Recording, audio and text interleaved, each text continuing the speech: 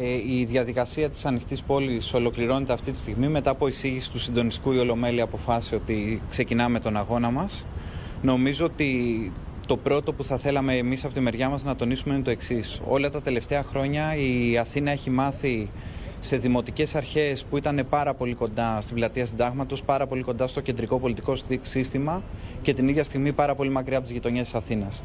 Η Αθήνα είναι μια πόλη που βλέπει κάποιο ξεκάθαρα το αποτύπωμα της κρίσης, βλέπει ξεκάθαρα την έκρηξη των κοινωνικών ανισοτήτων και την ίδια στιγμή μια πόλη στην οποία οι δημοτικές αρχές είχαν παραδοθεί στην αυστηρή μνημονιακή πειθαρχία και είχαν εγκαταλείψει την κοινωνική πολιτική.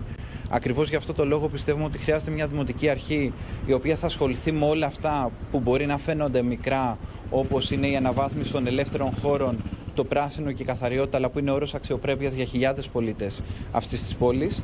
Μια δημοτική αρχή η οποία θα υπερασπιστεί το δικαίωμα στην κατοικία των ανθρώπων της και δεν θα αφήσει την Αθήνα να γίνει απλά ένας χώρος για real estate και Airbnb, το οποίο αλλάζει τη φύση ολόκληρων γειτονιών και διώχνει τους ανθρώπους από αυτές τις γειτονιές.